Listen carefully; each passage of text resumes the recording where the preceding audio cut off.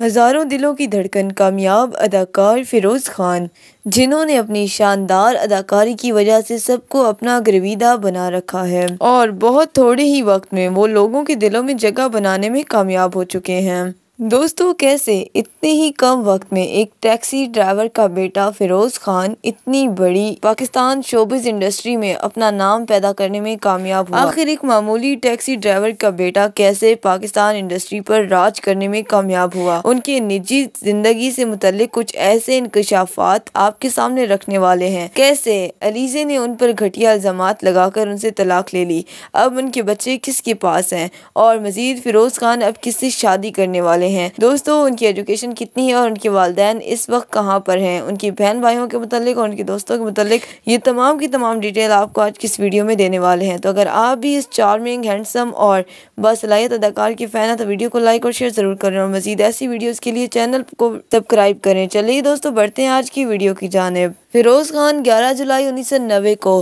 बलोचिस्तान के खूबसूरत शहर कोयटा में पैदा हुए। दोस्तों, फिरोज़ खान की अगर स्टडीज़ की बात की जाए तो फिरोज़ खान एक वेल एजुकेटेड अदाकार हैं। दोस्तों, फिरोज़ खान ने आर्ट में बैचलर कर रखा है।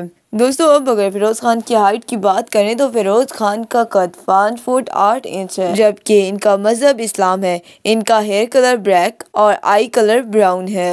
दोस्तों, अब अगर फिरोज़ खान की फैमिली के बारे में बात की जाए तो फिरोज़ खान एक पढ़ी लिखी फैमिली से बिलोंग करते हैं। फिरोज़ खान के वालिद का नाम सादिक अली खान तनोली है। फ़िरोज़ खान के अलावा इनकी दो छोटी बहनें भी हैं। फ़िरोज़ खान की बहन हमायमा खान, जो कि ना सिर्फ़ पाकिस्तान इंडस्ट्री बल्कि भारत में भी अपनी बेहतरीन एक्टिंग के जौहर दिखा चुकी हैं। फ़िरोज़ खान अपनी दोनों बहनों से बेहद मोहब्बत करते हैं।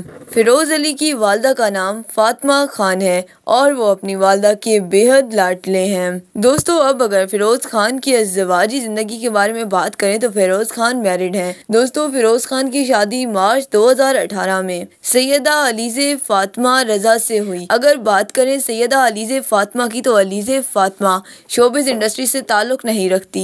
दोस्तों, फिर मई 2019 में अल्लाह ताला ने फ़िरोज़ खान को बेटे की नेमत से नवाजा, जिसका नाम फ़िरोज़ खान ने मोहम्मद सुल्तान खान रखा। लेकिन दोस्तों, एक खुशखरम ज़िंदगी गुजारने के बावजूद आखिरकार दोनों में अलहदगी हो गई।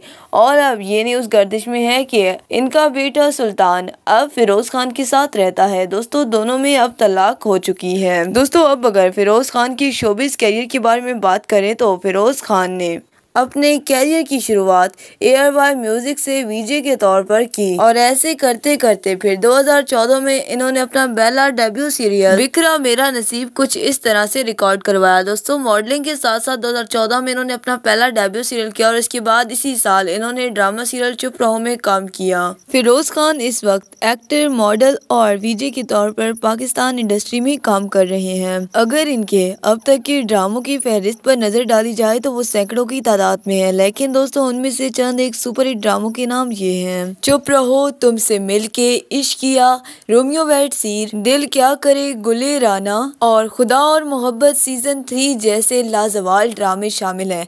इसके अलावा फिरोज खान दो टेली फ़िल्मों में भी अपने अदाकारी के जौहर दिखा चुके हैं। इनकी टेली फ़िल्मों के नाम दिल तेरा हो गया और मीनू की दुल्हनिया शामिल हैं। इसके अलावा ये दो बड़ी फ़िल्मों में भी नज़र आ चुकी हैं, जिनके नाम है टिच बटन बयान और ज़िंदगी कितनी हसीन है। दोस्तों, फिरोज खान की इसी जानदार अदाकारी और बेहतरीन डायलॉग डिलीवरी की वजह से वो चार बार अवार्ड्स के लिए नॉमिनेट हो चुके हैं। दोस्तों, चार बार अवार्ड्स में नॉमिनेट होने के बाद Firoz Khan best actor Lux style award जीतने में कामयाब हुए हैं। दोस्तों, आप इस क्यूट गुड लुकिंग और दिलकश इंसान की अदाकारी के बारे में क्या राय रखते हैं हमें कमेंट सेक्शन में ज़रूर बताइएगा। वीडियो पसंद आया तो वीडियो को लाइक और शेयर ज़रूर करें और मजीद शोबिस शख्सियात की ज़िंदगी के बारे में जानने के लिए चैनल पर विज़िट करें। मिलते हैं नेक्स्ट वीडियो में, तब तक के लिए अल्लाह हाफिज़।